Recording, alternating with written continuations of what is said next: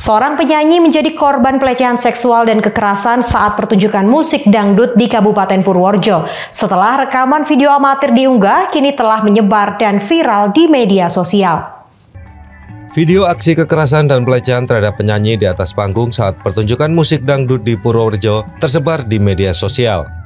Korbannya adalah IO, seorang penyanyi profesional dan saat dikonfirmasi awak media membenarkan kejadian tersebut. Ia menyebut pelaku tidak hanya sekali melakukan pelecehan, hingga ia merasa emosi dan mendorong pelaku untuk menjauh. Namun IO justru ditendang pelaku hingga terjatuh dan usai kejadian korban ditemui sejumlah orang di belakang panggung untuk meminta maaf. Namun korban hanya mau menerima permintaan maaf secara langsung oleh pelaku yang diduga seorang oknum kepala sekolah.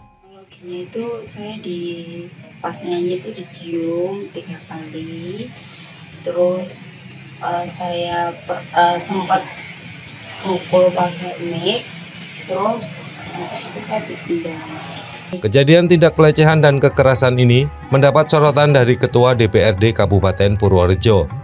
Ia meminta Dinas Pendidikan memberikan tindakan tegas terhadap pelaku yang diketahui sebagai kepala sekolah sebuah sekolah dasar negeri. Hal ini menurutnya tidak sepantasnya dilakukan oleh pendidik yang menjadi contoh bagi siswa dan masyarakat.